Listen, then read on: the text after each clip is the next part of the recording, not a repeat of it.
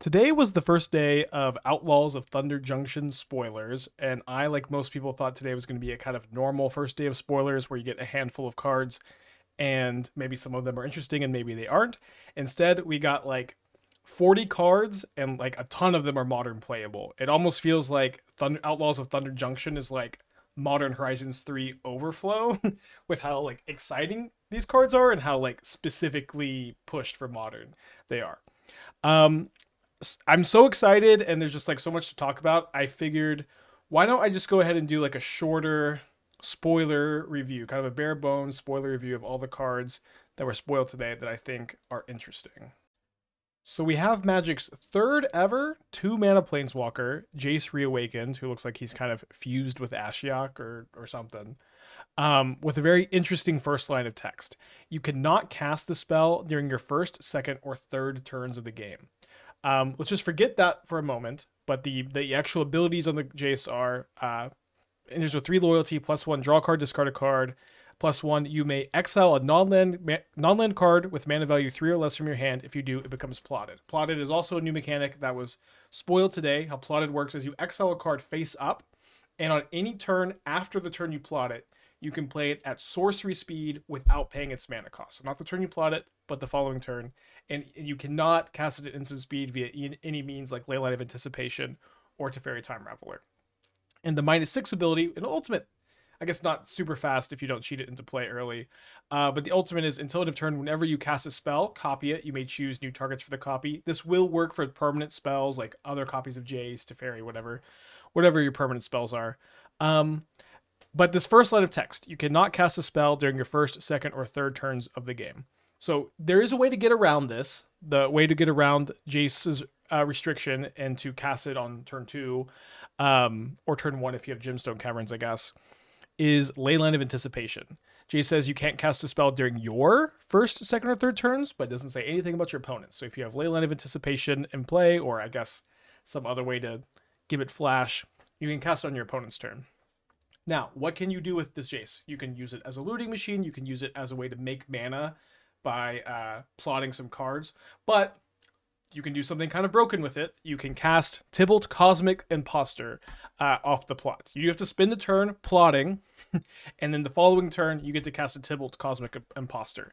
I think that this is pretty exciting. Where even if you don't go like Leyline of Anticipation, Flash and Jace, untap, plot the Tibalt, uh, which was th- that does sound really powerful to be able to do. It's going to be kind of slow, right? Because you're going to go land, land after you put your Leyline of Anticipation into play, cast your Jace, untap, have to have Tibalt in hand, plot the Tibalt, then untap, then you cast Tibalt for free, and you're way ahead. And it's kind of cool that you get to do whatever you want with your man on turn three. That's kind of cool. Um, but I, I like that on turn four, you can just go like resolve your profane tutor that you put on suspend, grab Jace reawakened, cast Jace. Opponent tries to counter, you just counter their counter, plot a Tibalt, you're super ahead, kind of can't lose. Uh, or and even just like on turn four in a control deck, going, I'm gonna cast Jace reawakened with a removal spell with a counter spell. I'm just gonna like super effective double spell on turn four. That's what Jace does. It's like my turn four is gonna be super duper uh, effective and powerful, but I won't be able to go off until turn four. It's also cool that Jace pitches the subtlety and force of negation, so you can kind of just play multiples and still have a use for it early. I think I think Jace is like really exciting. Just does a lot. Very powerful for two mana. Has a significant downside that you can get around with Leyline, and it also just being like a pretty good two mana planeswalker has this potential to cheat in Tibalt's Cosmic Impostor. Lots of lots of potential with Jace Reawakened. I expect initially to be playing a lot of it in Modern and Pioneer, and uh, I expect it to be at least somewhat playable. We also have Satoru the Infiltrator, which is unironically being compared to Up the Beanstalk, and it, it makes like a surprising amount of sense, which is funny. This is a two mana two three menace. Whenever this card or another uh, non-token creatures enter the battlefield under your control, if the card wasn't cast or if no spin no mana was spent to cast it, you get to draw a card. This means if you cascade into Satoru off of Shardless Agent, it gets to enter and then draw a card. If you evoke an incarnation like Grief or Solitude or Subtlety, you get to draw a card. If you have a blood Bloodghast in your graveyard and you return it to Satoru and you sack it to a Carrion Feeder, you get to draw a card, then crack a fetch land, return it to play, draw another card. If you Aether Vial in Satoru, you get to draw a card, and then every time you activate Aether Vial after that, you get to draw a card. If you ephemerate Satoru or another creature, you get to draw a card.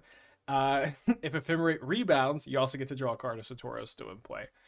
Um, though I had a very smart uh, chatter in my chat today saying this card would slot really well into the existing Goryo's deck, which I, which I actually agree after some some thought, because this will draw a card off of Evoking Grief, Evoking Solitude, off of Ephemerating, and also off of casting Goryo's Vengeance, and you can also occasionally you can Goryo Satoru and then Ephemerate it. You get to draw like three cards off of that. That's probably surprisingly pretty good.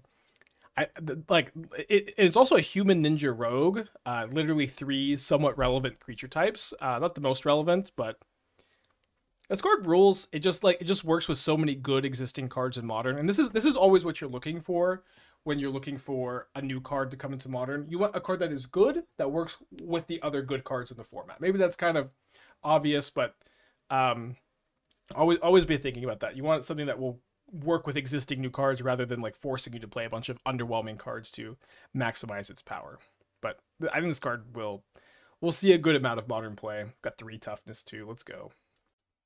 We also have a new Magda card, Magda the Hoardmaster. This is a two mana 2 2 that says whenever you commit a crime, create a tapped treasure token. This only triggers once each turn, and but it does trigger on your opponent's turn too. You might be wondering, how do you commit a crime? To commit a crime, you can target your opponent, any permanent they control, or any card in their graveyard. Pretty, which is pretty simple. Um, you can also use Magda to sacrifice three treasures, which is a lot less than the five treasures you used to have to sacrifice for the other Magda, to make a 4 4 dragon flying with haste. And you can only activate that as a sorcery. What's really cool about this Magda, too, kind of compared to the old one, is you don't have to put like gigantic dumb artifacts and dragons in your deck. You just you just get the dragons are like built into Magda, which was always kind of an issue building around this card is you just have so, you have a couple clunkers in there that are like magnitude or targets. Also, sacrificing five tokens is so many. Three is three is pretty doable. I've been like unironically registering enterprise enterprising scallywag in some modern decks and really liking it. This is at the beginning of your instep. If you've descended, make a treasure token. I think Magda is better than this, although this triggers off fetch lands and stuff. Um, this can trigger two turns and is also the payoff. It's also legendary, and you're also just gonna kind of want to play both of these in the same deck, which is which is kind of fun. Um, but Magda, you could the best way to commit a crime is Mishra's Bauble. Mishra's Bauble just enables everything in modern. Uh, but Mishra's Bauble does target your opponent. You can go like Bauble, Magda, crack it, uh, commit a crime. Sometimes you'll have two baubles and you'll just go commit a crime on my turn, commit a crime on your turn. Two mana, two two, make two treasures, untap. One more crime, you make a dragon.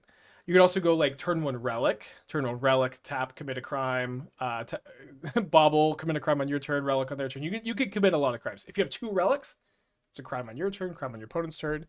Really easy to do. Also, this ability here is an is a good activated ability for Agatha's Soul Cauldron. So I've been working on some like mono red Agatha Soul Cauldron, Scallywag, Goblin Engineer, um, crime novelist decks lately, and I think Magda likely slots right in there. I'm, I'm I'm really excited about this one. We will definitely be cooking a lot with it, and I think I think she looks super good.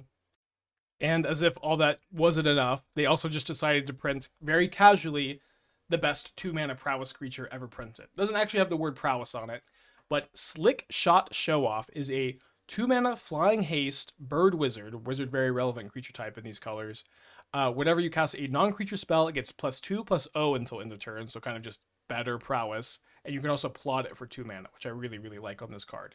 It's like a super upgraded Sprite Dragon slash Kiln Fiend, which is wild because I've played a lot of both of those cards.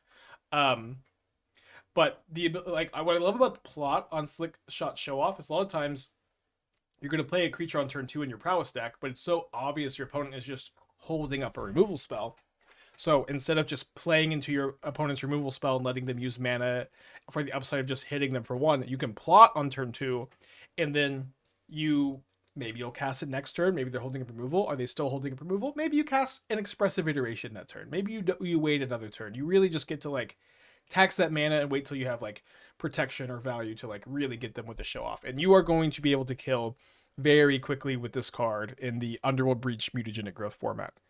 Um, this card is just going to be in every prowess every prowess deck until end of time and also maybe you play it in some wizard shell also like with flame of Anor, um if you want to guarantee that you'll have a wizard on turn three for flame of Anor, like like you know one issue is you play a wizard on turn two your opponent kills it. Oh no, your Flame of Anor isn't two modes on turn three. You can plot, then turn three, cast it two modes Flame of Anor, which is really exciting. This card, this card rules. It is just uh, de facto best in slot at two mana.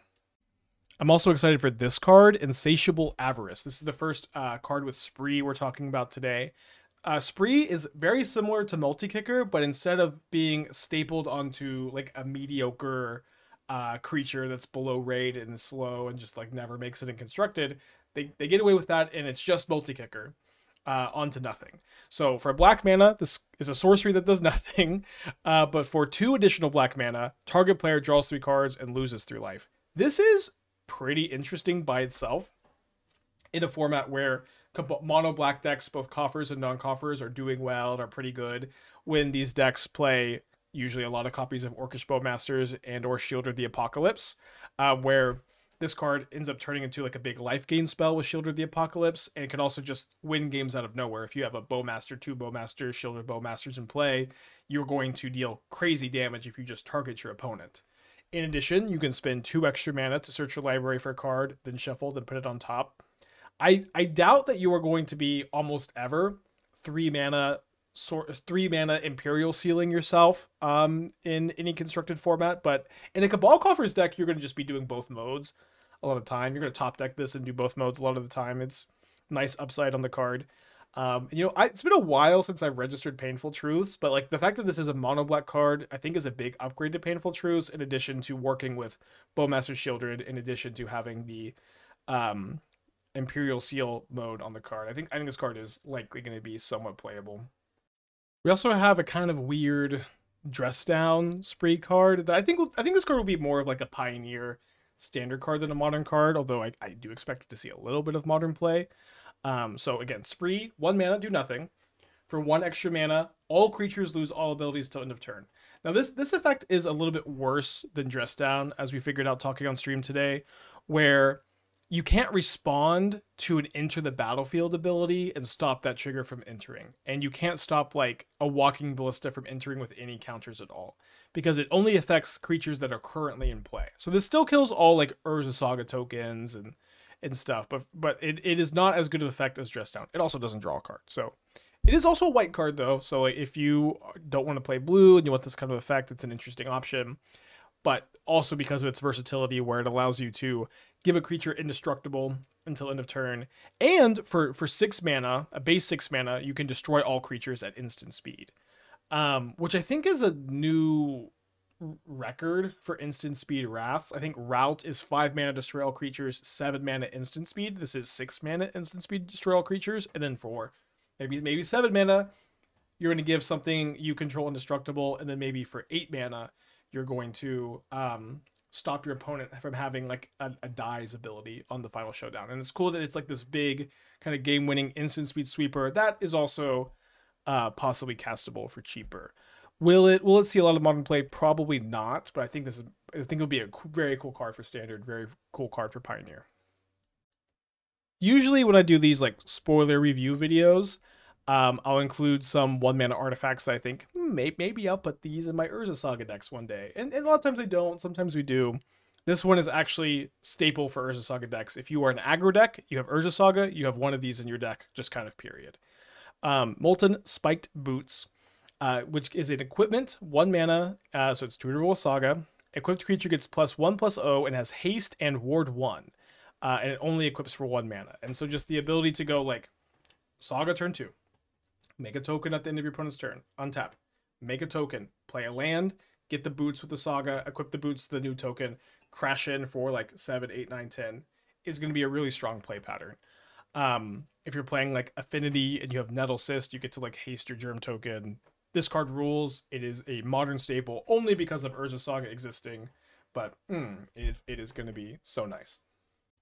There's also just like a couple of sick multicolor three drops that really like kind of go under the radar here. But there's Ruthless Lawbringer. Enters the battlefield, you can sacrifice another creature. When you do, destroy another non-land permanent. It's a vampire assassin. Assassin's a pretty relevant creature type with Assassin's Creed coming up. Vampire's not too bad either. I know this card is sick. It's gonna be super fringe playable, like a creature style deck, but you can ephemerate it. I don't know. I, I like this card a lot. There's also Honest Rutstein, Rutstein, who's a green black human warlock 3 2. Enters the battlefield, return target creature card from your graveyard to your hand. It makes creature spells you cost cost one less to cast. The big test is like, is Yawgmoth going to play one copy of this? Probably not, but I don't know. Like, it's like Eternal Witness only for creatures that also like reduce the cast casting cost of your stuff. I don't know. I like I like both these cards. I think these cards are sick. Very fringe playable. I want to talk about them because I think they went a little under the radar today. But there there are a lot of cards spoiled. I I feel somewhat confidently I did not talk about every single one that has like implications in modern, but this was the first day of spoilers, so I just I really wanted to get kind of ahead of the curve, talk about some of this stuff. I'm still planning on doing a longer spoiler video for the set when it comes out. I'll likely be maybe expanding upon the cards I talked about here, uh, enhancing these slides a little bit, making it look nicer. But just wanted to get this out today. I was so excited. I want to talk about it. Thank you for watching. I'll be live over on twitch.tv slash aspiring tomorrow. Goodbye.